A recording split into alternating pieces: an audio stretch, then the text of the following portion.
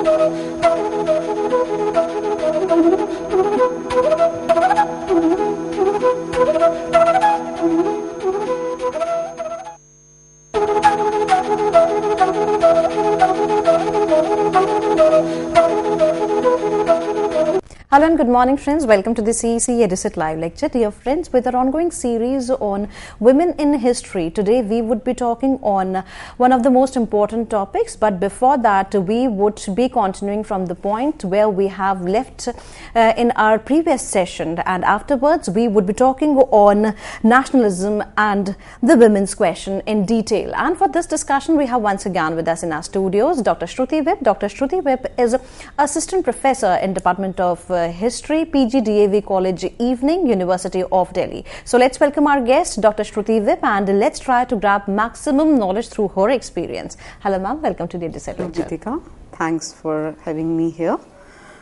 Uh, in today's lecture, I would be uh, focusing on the role of women in the national movement and how one can trace the issues of patriarchy, femininity, and masculinity. But before starting this, I would like to uh, discuss in some detail from where I left uh, last in the last lecture that is Muslim reformist masculinity, because that also forms an important part of the entire discussion. Uh, as we were discussing, what was the impact of reform movements uh, on Indian women? So, uh, in that rubric, I had already discussed with you the impact on Hindu women. Uh, today, I would be discussing how Muslim women were impacted with this reformism that had started in 19th century and continued well into 20th century.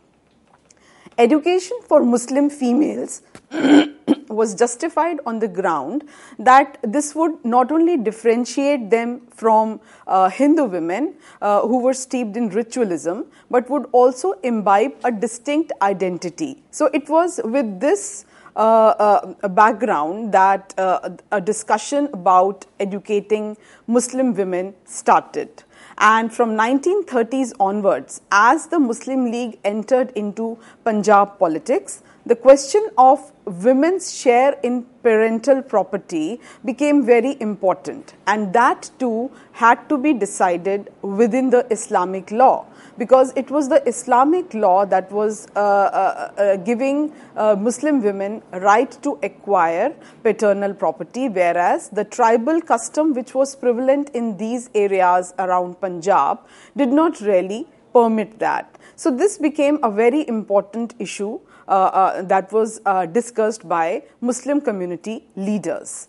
And widows wanted that marriages should be allowed even outside the family or uh, they even wanted continued widowhood for themselves with some land entitlements and they did not want to accept the uh, custom of levirate which i had discussed in the last lecture which meant that a woman once her husband died, was bound to marry one of the family male, uh, one of the males of the family in which uh, she was residing. And Muslim women did not want to adopt this practice, which was rampant in and around Punjab.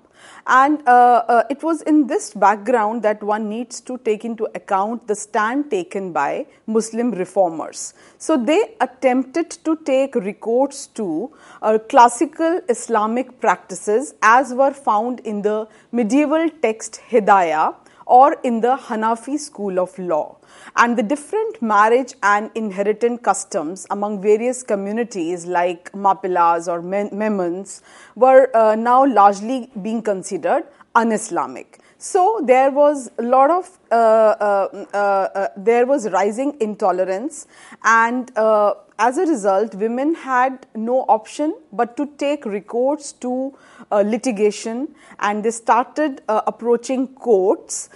and this was done not only by Hindu widows but also upper class Muslim women, and they started questioning family laws, thereby exercising their agency.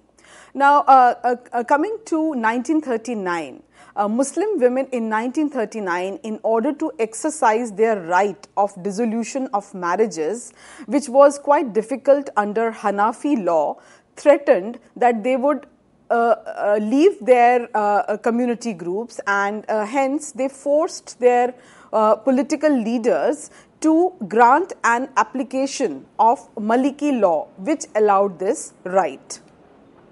Uh, now, coming to the issue of reformism among Muslims, uh, Urdu reading for women was banned by some reformers because Urdu literature uh, contained some uh, uh, uh, romantic tracts and erotic literature, and therefore it was not considered as appropriate for women. Uh, B. Ashrafunnisa later revealed how she taught herself to read Urdu secretly Begum Rokeya Hussain, who also wrote in Bengali to cater to Bengali Muslim girls, also gave similar accounts.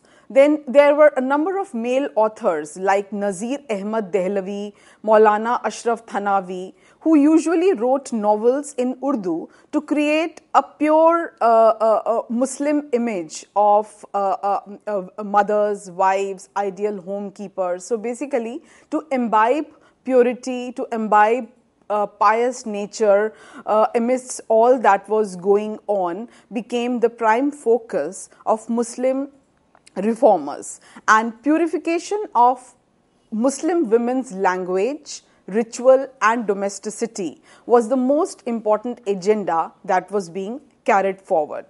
Then we have a number of important reformers and political leaders like Syed Ahmad Khan, who encouraged homebound female education, and Mumtaz Ali uh, instilled the notion of gender equality as the distinctive hallmark of Islamic scripture, of Islamic knowledge and thought.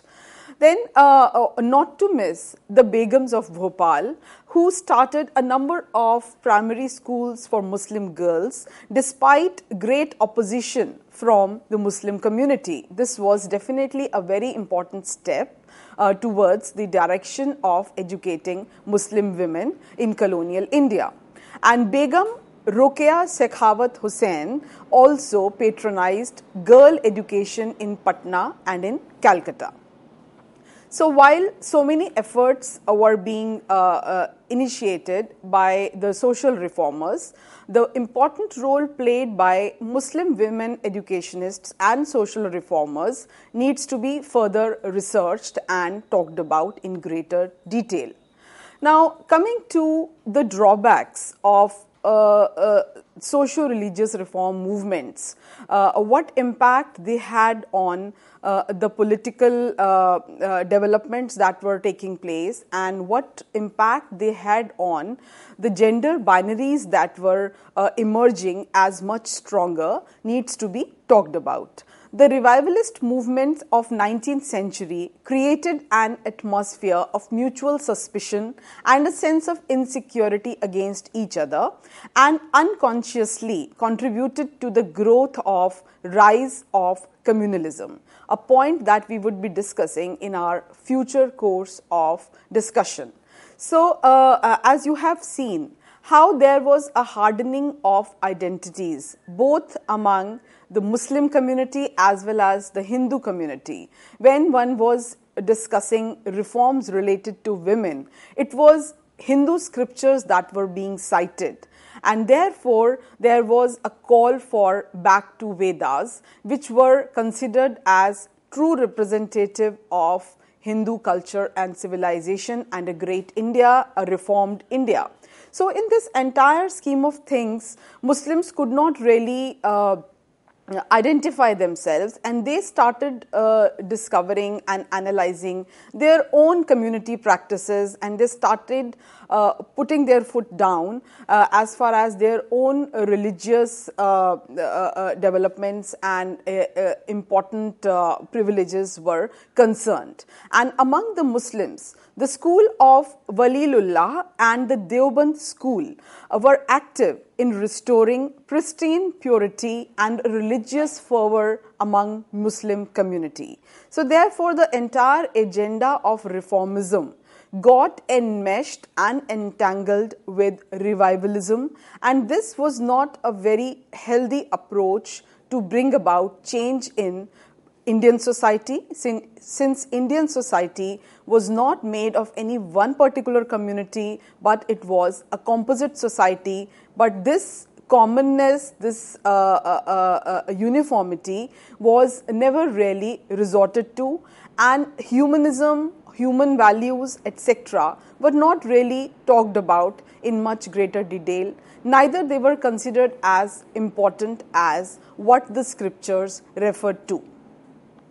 Among the Hindus, the revival of Shivaji and the Ganapati festival, the Dharm Sabha of Radha Kanta Dev of Calcutta, they tried to glorify Hinduism against the Christianity, but ultimately the communication gap was such that it sent a wrong message to the Muslims, which was further added by the Shuddhi movement started by the Arya Samaj. So, the love for Hindu ideals and institutions, the pride in Hindu religion, and the philosophy contributed to the sense of superiority and also resulted in alienation, the feeling of alienation among different uh, communities, particularly among Muslims, who also started patronizing such alienating thoughts and practices, thereby strengthening their own community. Uh, Vivekanand said that Vedant philosophy is the supreme of all philosophy. So, thereby negating the influence of different schools of thought, different philosophies uh, that were uh, very uh, much uh, being patronized by other communities.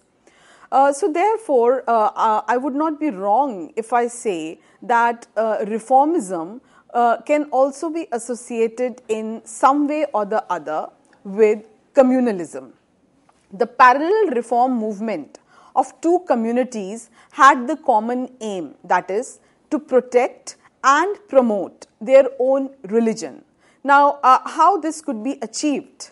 Uh, uh, this was achieved automatically since the two communities lacked communication and hence lost their ultimate aim of exterminating the outsiders, the colonial regime, the Britishers. So they were busy fighting, contesting amongst themselves rather than against the colonial regime.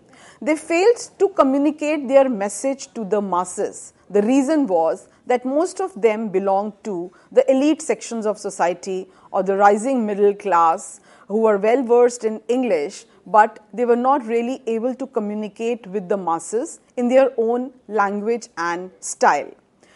The economic backwardness of the country, the backward outlook of uh, uh, people, and the neglect of the masses, as well as the neglect of the education, further helped in widening this gulf between the rich and the poor.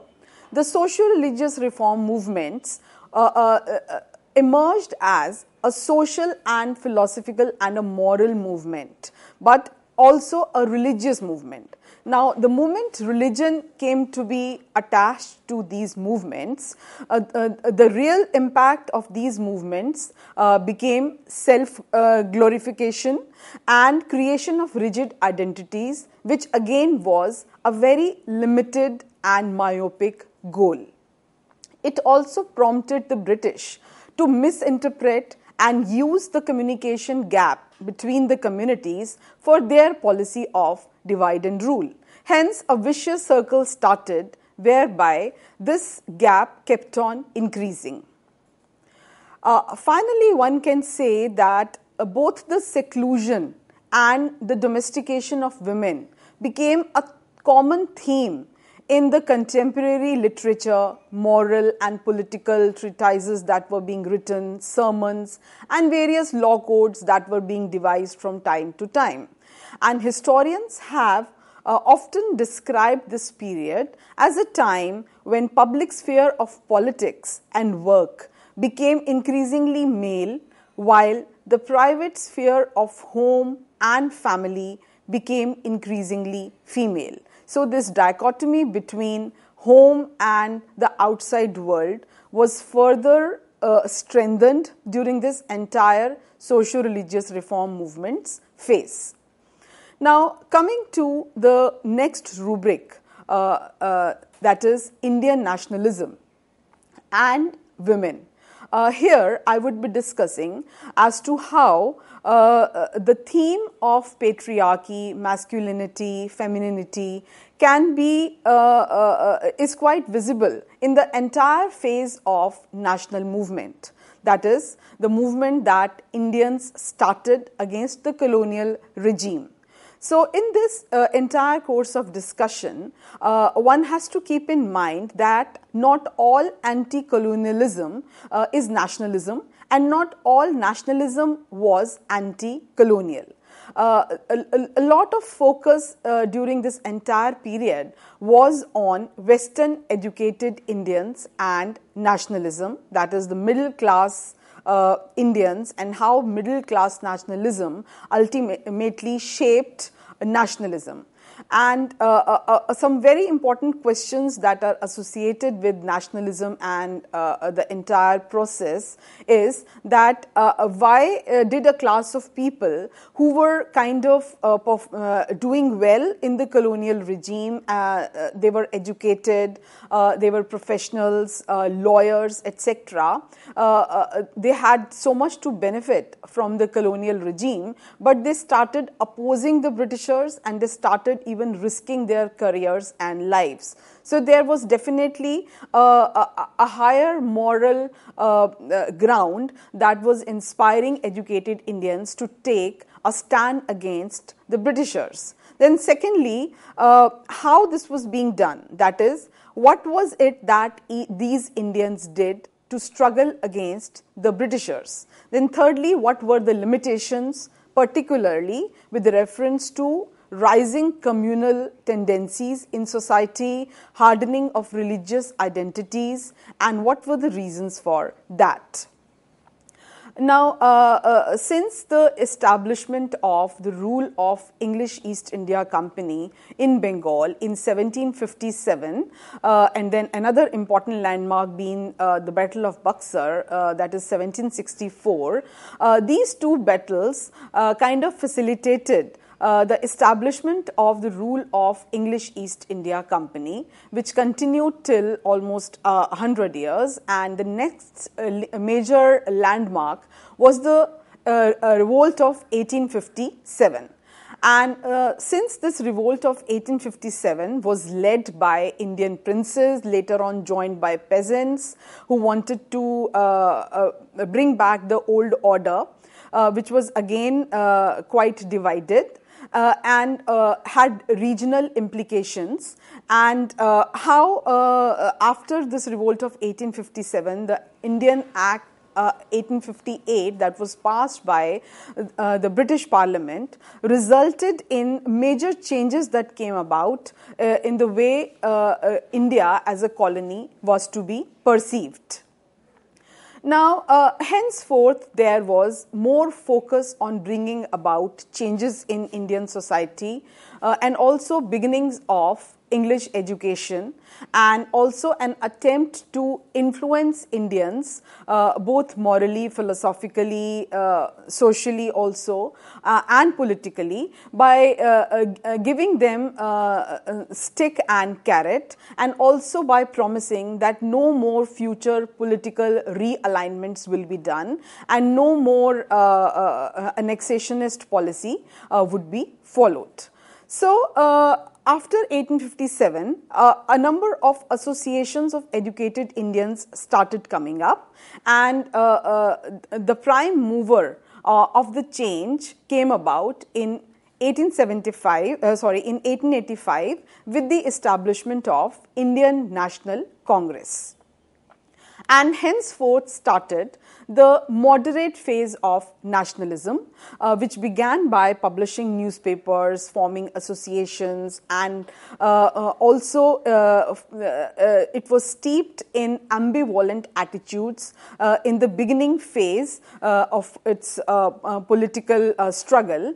And most of the moderate leaders began to believe British rule to be a positive achievement, a beneficial aspect came to be explored, and uh, uh, the reason being that Britishers would help Indians to modernize, bringing in new ideas, and uh, since they were themselves product of British institutions and British education, British uh, uh, influence, they were wholeheartedly in support of the colonial rule.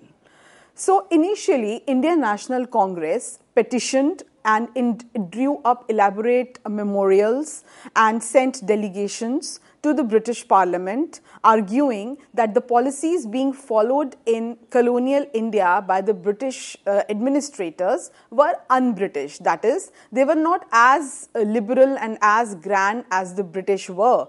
And hence, they wanted to bring this to the attention of uh, British government and were expecting that gradually the things would improve. So, early days of Indian National Congress can be described as uh, a debating club of Indian elites who had a lot of hope uh, uh, and uh, they were expecting some positive change to come about uh, as a result of their association with the British uh, rule and the British institutions.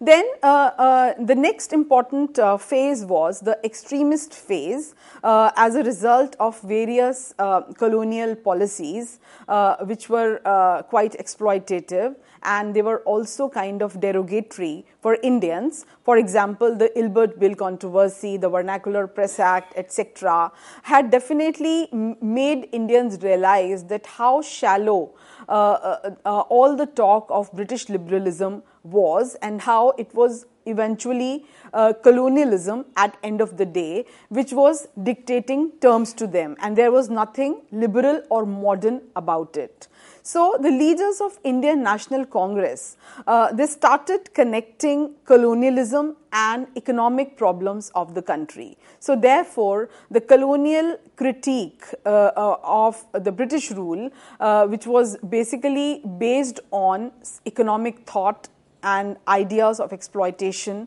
began. And uh, uh, so there was a chunk uh, within the Indian National Congress which began questioning the whole philosophy of beneficial aspect of British rule, and they started uh, opening, de- uh, uh, declaring in an open manner that the British rule was not beneficial to Indians in any way, and therefore a, a counter movement uh, of extremist thought started, uh, uh, who were definitely more radical, and they wanted to bring it to the attention of Britishers that they could no longer continue to exploit economically exploit Indians because they were uh, simultaneously theorizing on how exploitative British rule was. So uh, uh, the trend of public meetings started and uh, uh, Tilak emerged as a very important leader in Western India, particularly Bombay, Pune, and he started using religious and folk festivals to convey the nationalist message. And uh, uh, uh, uh many times the moderates kind of disapproved and thought that this was a dangerous trend and would not result in any gains. So, uh, this was the time uh, from extremist phase onwards that religion and nationalism began to be uh, side by side, though the trend was much weaker in the beginning, but uh, as times progressed, it got fully entrenched. And uh, various strands of nationalism began to argue for their own religion, which was true not only for uh, Hindus but also various other communities, Muslims also. Uh, now, a very important context for this critique of Western educated Indians uh, uh, that emerged was that they were rather inauthentic, and this was made both by the colonial officials and some other Indians also who had started suspiciously looking at the way national movement was progressing. So, in this entire course of discussion uh, and movement, religion came to be deployed in the nationalist project. And once religion came to be deployed, uh, the role of women became all the more myopic, became all the more limited, and uh, uh, there were uh, definitely uh, uh, serious limitations that were that were devised and implemented also as far as women participation was concerned. So, a modernized middle class religiosity was born, uh, which continued to exercise an important influence over the Indian national movement. Uh, now, uh, uh various strands uh, uh that emerged uh, in due course of time also resulted in Hindu reformist organizations such as Arya Samaj, who were opposed by uh, some other strands of uh, uh, nationalist movement also, and Muslims made up a significant portion of the population at that point of time, approximately 25 percent, and they came to resent the growing Hindu-ness of the Indian National Congress agenda.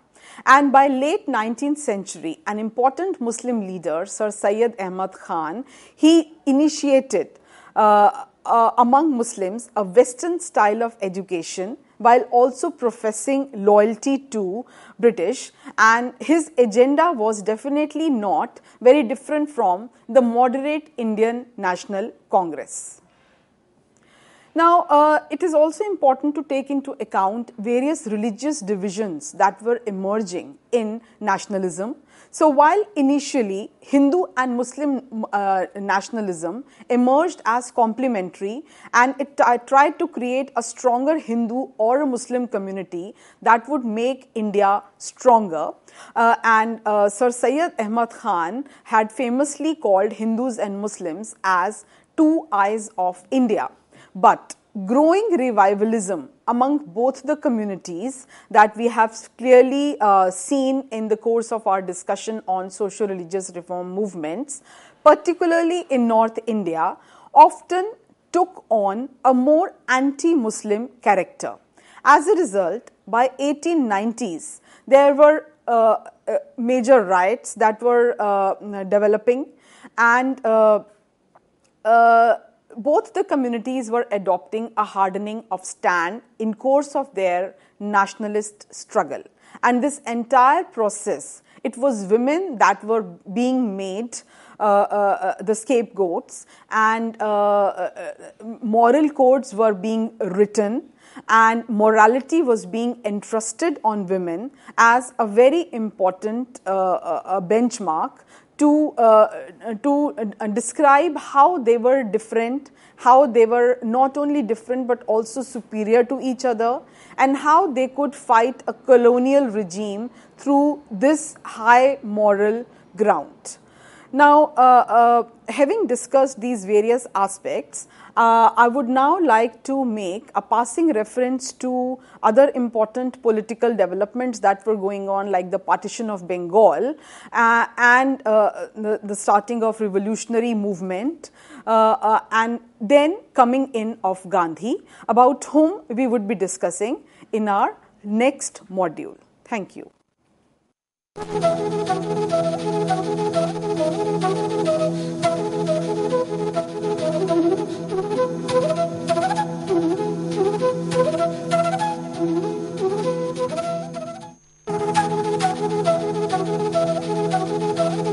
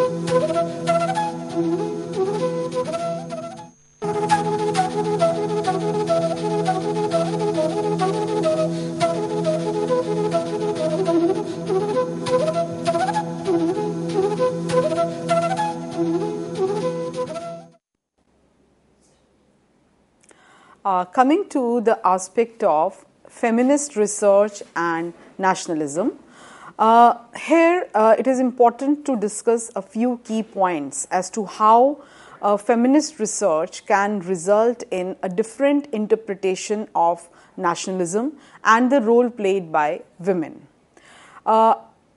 Assumption of alliance between a feminist researcher and her female subjects is a very important uh, way of approaching a subject. Then, production of knowledge is situated and relational. That is, whatever knowledge is being produced is already uh, being preconceived, and these preconceived assumptions must be looked into. Then, a less authoritative account or a partial account uh, is not a choice but a necessity. So, therefore, it is important that historians they start uh, discussing, they start exploring various ways of understanding less authoritative accounts who have not really made their entry into mainstream history writing, but they do exist and they are waiting for historians, for scholars to be explored more actively in a more meaningful manner.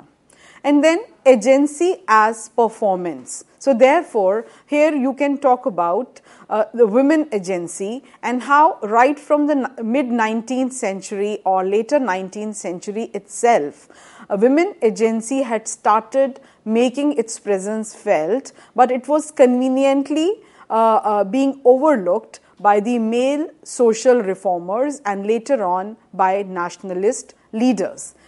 Then, uh, identity as constructed and staged, that is, whatever identities that were framed uh, as part of uh, various communities as well as as masculine and feminine were largely staged and it was not as if that was their true character. So, one needs to explore the hidden character of the staged identities. Now, coming to the aspect of nationalism and women's question, the ideological save through which European ideas of reformed passed through uh, had a lot of emphasis on the role or the position that women enjoyed in India. And this was made a major uh, uh, theme of debate by the colonial masters and as the prime mover for their justification to continue ruling uh, a backward country like India, which did not give its women folk pride and equal rights.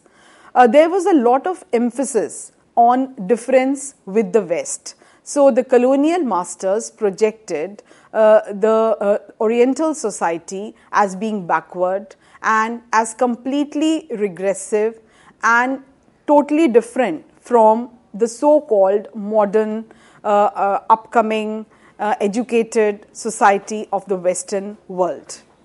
So, women's question began to be situated in the inner domain of sovereignty away from the political unrest and any contest with the colonial state. Now, this happened once the nationalist leaders became more active and became more radicalized in their opposition to the colonial regime.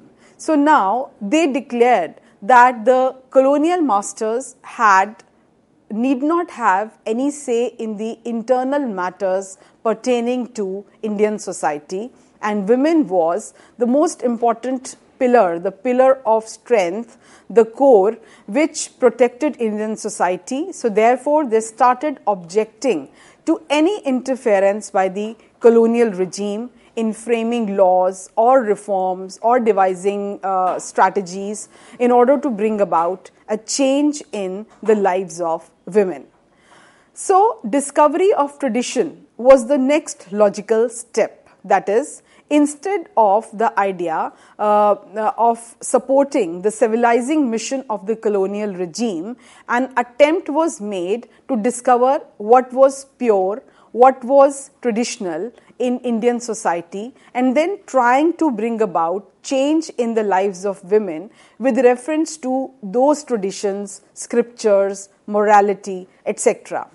So, women's question was uh, taken out of the realm of negotiation with the colonial state. So, the nationalist leaders did not want to negotiate with the colonial masters on any issues related to women, a trend started by uh, Tilak and then later on carried forward by various other reformers. So, therefore, uh, the nationalist agenda that emerged, it subjugated female sexuality and women's demand for freedom. It required the sacrifice of female lives and bodies to a cause that violated the interests and desires of individual women. So, therefore, it expected women to conform to a national construct within which men reigned supreme. So, therefore, while the nationalist uh, leaders were uh, responsive to the exploitation that was being faced by women uh, as a part of uh, um, social uh, practices that had been continuing since generations.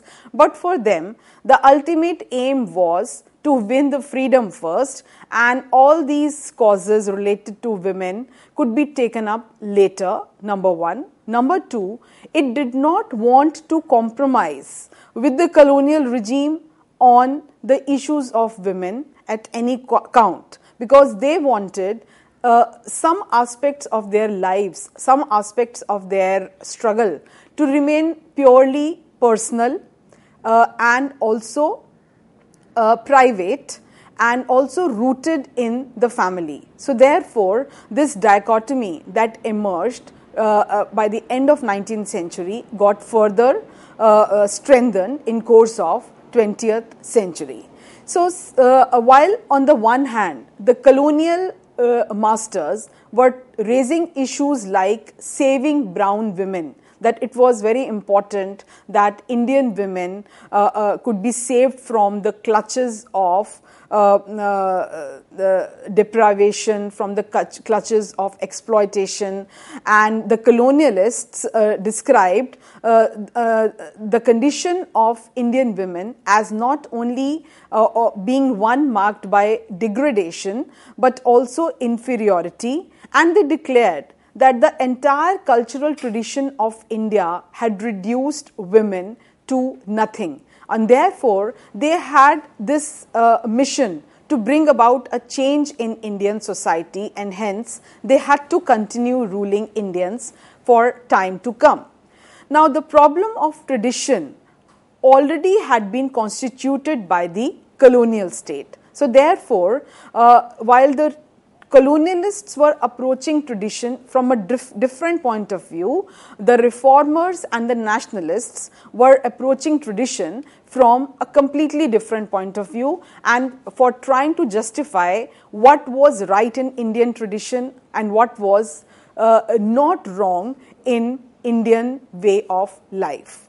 So, what emerged as Partha Chatterjee uh, has discussed in, in, his work is uh, the emergence of two spheres. So, one sphere was the material sphere, the sphere uh, of science and technology, economics, statecraft, and uh, it was all right to imitate the Western civilization in this domain, that is, in the material sphere.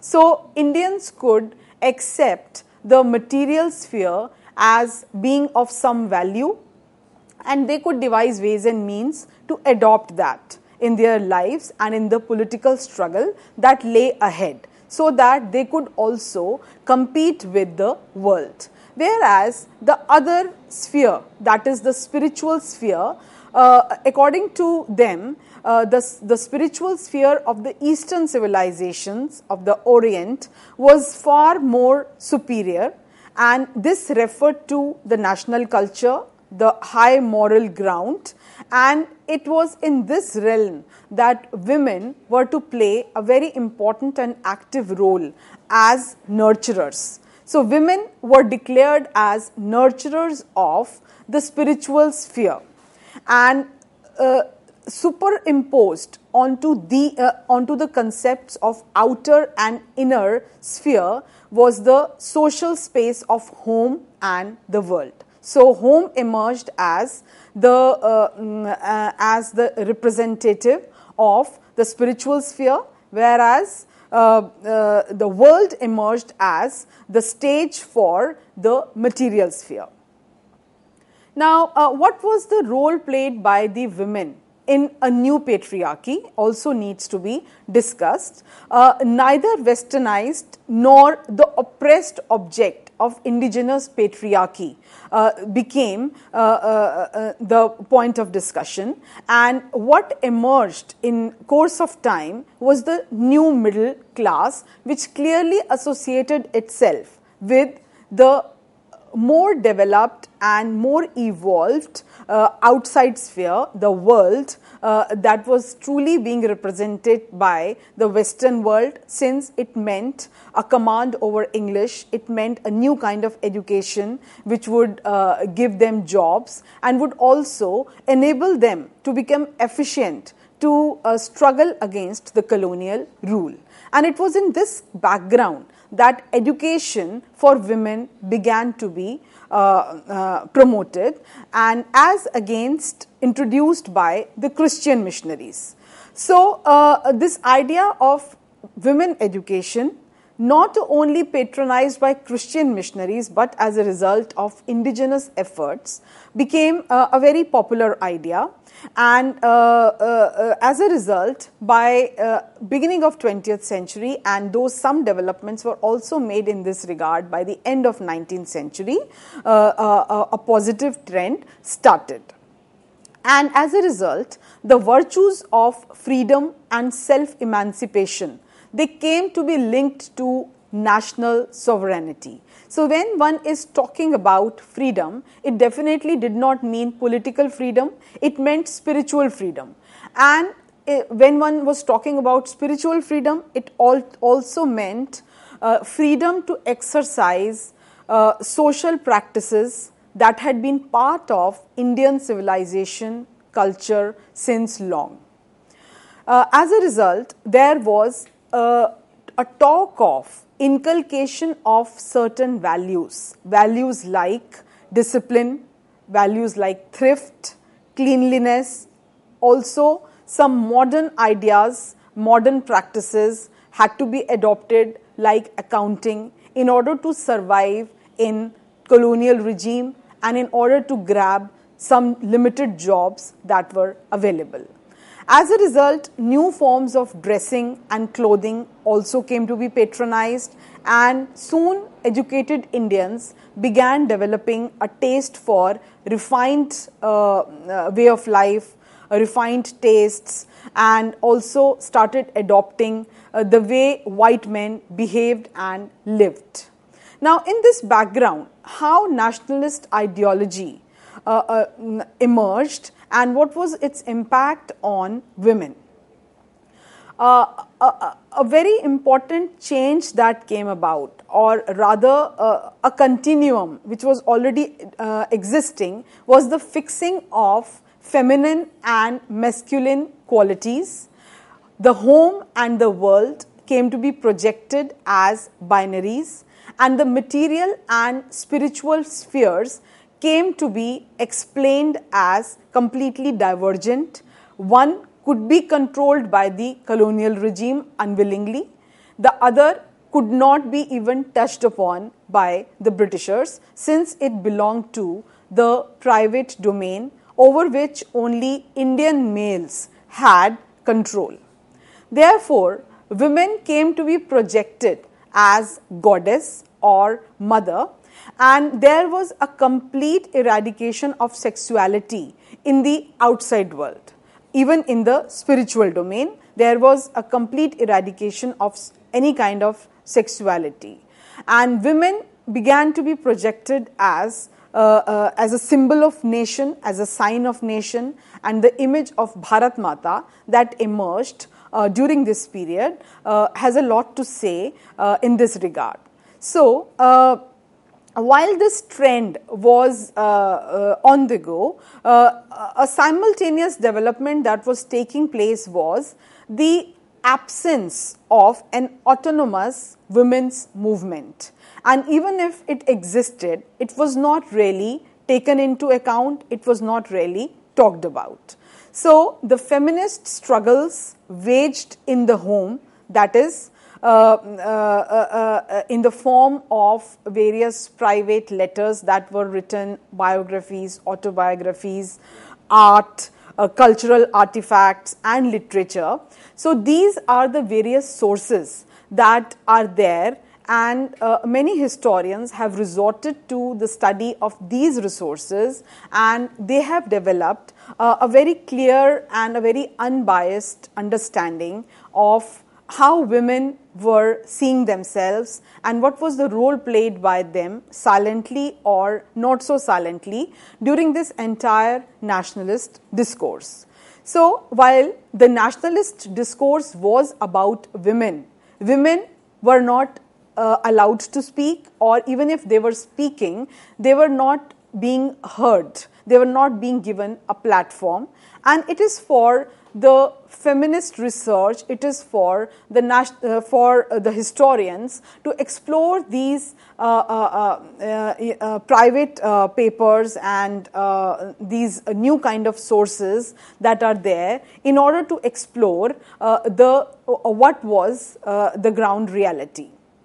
Now, coming to the aspect of gender and Indian nationalism, as discussed earlier, the family emerged as a as a contained as and as an arena of silence. So, uh, silence of all kinds was encouraged in the uh, institution of family and family came to be projected as a metaphor of the nation.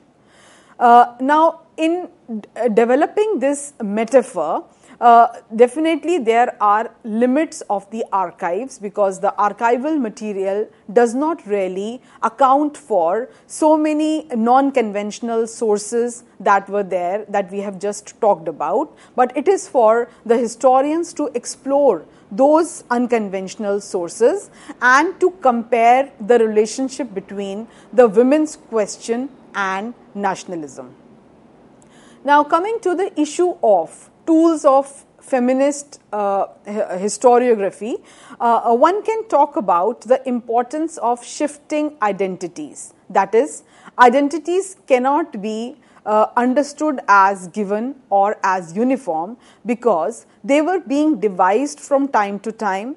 Identities should be taken as multiple, contradictory, partial, and also uh, having an influence of conflicting uh, social and linguistic influences.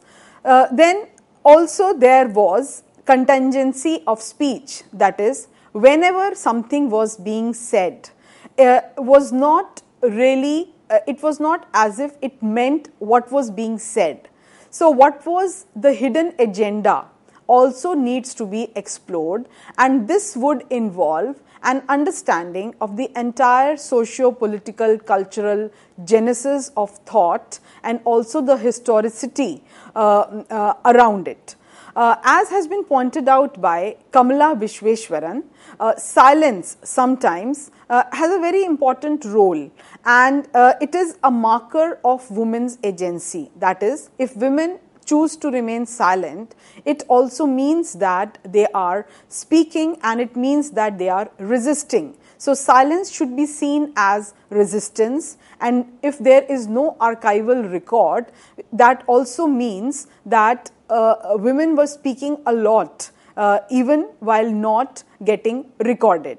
Uh, as and Kamala Visweswaran has given examples of women like Uma and Janaki who refused to speak of their child marriage, who res- refused to speak of the experiences of child marriage, and who refused to be identified as a spinster or as a widow. So, for them, their identity as a woman was far more important and complete as compared to these identities.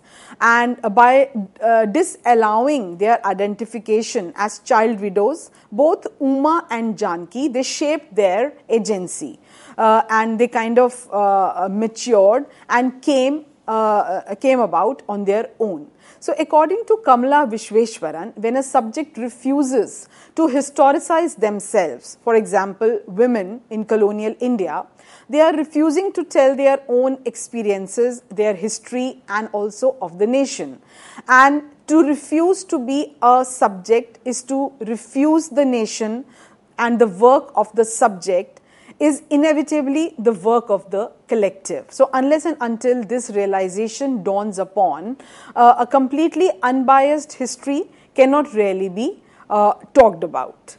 Now, uh, coming to the issue of dichotomy between home and the outside world, Partha Chatterjee uh, has discussed that how most of the nationalist discourses were gendered and nationalism rather created a new patriarchy rather than countering it, rather than weakening it. So, the entire nationalist discourse resulted in further hardening of stand against women in a very subtle way. And this new patriarchy fused national integrity with the ideal of female chastity, with the ideal of female purity, the pious woman, the ideal of Bharat Mata. So, preservation of the home or the nation was embodied in the very physical person of the woman. So, as a result, this uh, uh, heavy uh, burden that was now uh, laden on the shoulders of women had to be carried all, all along in the course of the national movement. Uh, uh, coming to uh, uh, the Gandhian phase, uh, since that was the most uh, mm, uh, you know crucial phase of Indian national movement, where various new strategies were uh, devised and women were involved in a big way in the participation in various mass struggles and various movements that were devised since 1919, continuing till 1942. So, a lot uh, a lot many new developments happened and Mahatma Gandhi expanded uh, anti-colonial agitations into mass movements of peasants, tribal and middle class uh, uh, uh participation uh, increased and from the early 1920s a, a non-violent non-cooperation movement started against the colonial regime and women joined in this movement uh, on a large scale, uh, altering the very character of Congress organizations. Uh, now, this signified an open and an active female defiance of social norms that had traditionally restricted women to their homes. So, in a way, it was definitely a step ahead for women because they were coming out of their homes, they were participating in picketing of shops, they were also managing violent mobs. They were trying to give a direction to, uh, uh, to the agitation. And Gandhian politics also involved strategic use of traditional kinship, practice, and emotions. For example, during the Khilafat movement in 1921, the mother of the Ali brothers, a woman from an Orthodox Muslim family, began to address large crowds of Muslims who were protesting the British abolition of the Turkish Caliphate after the war. Now, once uh, addressing uh, the meeting as uh, uh, you know everyone present here is like my son. Uh, uh, uh, the mother of ali brothers defied the principle of female seclusion as she at first spoke from behind the veil and addressed the crowds as her children and later on unveiled herself now, this was a major uh, uh, uh, uh image makeover that was uh, coming about for a Muslim woman to unveil herself in public. But this could be done because the cause was of national movement, the cause was anti colonial. So, women could definitely transgress boundaries and could assume a more open and a more confrontationist and a more active uh, role. Uh, then uh, coming to the issue of uh, various national movements, uh, the struggle that was uh, devised by Mahatma Gandhi uh, from 1921 onwards, the non-cooperation movement in 1921 and then the civil disobedience movement in 1931 continuing till 1934. many peasant movement, many sorry, many peasant women were mobilized and local organizations and movements were kind of fused, uh, and various women, along with men, courted arrest and led demonstrations. They also made illegal salt. So, uh, in this course of agitation, middle class women they became public speakers they actively participated in demonstrations they even courted arrest for example Swarup Rani, who was mother of Jawaharlal Nehru, was beaten by police during uh, this agitation, as were a number of women. The Quit India movement of 1942 also uh, resulted in uh, a strengthening of underground networks of various women. And uh, it also kind of encouraged radicalism but this new radicalism among women, as most of the national uh, movement leaders were behind bars uh, after 1942, uh, this radicalism did not translate into a new political femininity as Gandhian nationalism uh, clung to the image of the woman as a self sacrificing and a nurturing mother. So, uh, what needs to be discussed is the ambivalences in Gandhian ideology. So far, a detailed discussion has been undertaken on the rising participation of women during Gandhian mass mobilizations, but one needs to understand with greater detail and critical outlook as to what were the ambivalences that were implicit in this women participation, which would be the theme of my next lecture. Thank you. With this note, thank you, ma'am. Thank you so very much for de delivering a very, very productive uh, session. And uh, dear friends, we believe that your feedbacks are very, very important for us. Do write to us at uh, info.cc at the rate nic.in. The lecture is going to be uploaded on YouTube soon. And dear friends, afterwards, if you feel that you have any query or if you want to have uh, answer to any of your questions, definitely you can write to us and we will try to give answers to your questions when next time Dr. Shruti Vip visits our studio Thank you, ma'am. Thank you once Thank again. You, Geetika.